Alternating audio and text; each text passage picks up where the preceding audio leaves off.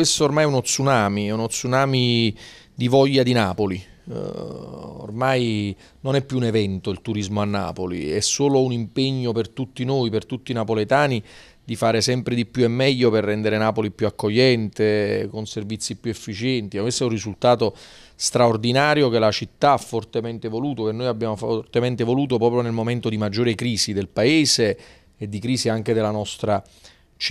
quindi siamo veramente soddisfatti perché poi il clima è buono, io sto girando tanto come sempre Napoli,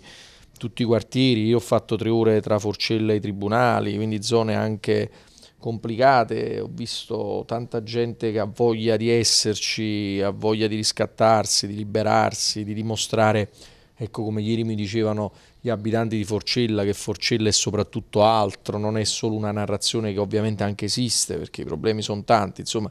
questo turismo aiuta moltissimo la città, perché non è solo un bel vedere, non è solo una dose di ottimismo fine a se stesso, economia, insomma noi abbiamo dei dati indicatori sull'aumento dei posti di lavoro grazie all'industria turistico-culturale che ci incoraggiano tantissimo, che vanno nell'indotto del commercio, dell'artigianato, dell'impresa,